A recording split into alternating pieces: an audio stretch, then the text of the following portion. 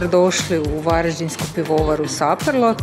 Nalazimo se u e, pivovari, u proizvodnom pogonu, u našoj kušaonici, u Gojancu, Ljudevita Gaja 44. Što se tiče piva, e, posebno smo poznati po našim IPama i New England IPA, gdje bih posebno istaklo e, Juicy Fog te e, također jedan od klasika je pšenično pivo koje je posebno po tome što zapravo se radi sa specijalnim e, njemačkim sojem kvasca koji daje tu nekakvu posebnu aromu na bananu i na klinčić. Naravno da su tu e, lager pivo i američki porter naš Witch E, s kojim smo eto na e, međunarodnoj sceni u principu dobili e, nekoliko nagrada, medalje za našu kvalitetu što je e, također e, važno za istaknuti da je to u nekakvoj premium kategoriji proizvoda.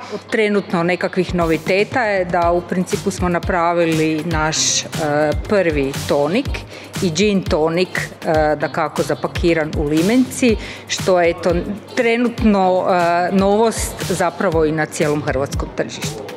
Pozivamo sve e, goste, e, varaždince i njihove posjetitelje i prijatelje da slobodno navrate svaki petak u našu kušaonicu e, i da se osobno uvjere u kvalitetu i svježinu naših proizvoda. Dobrodošli ste.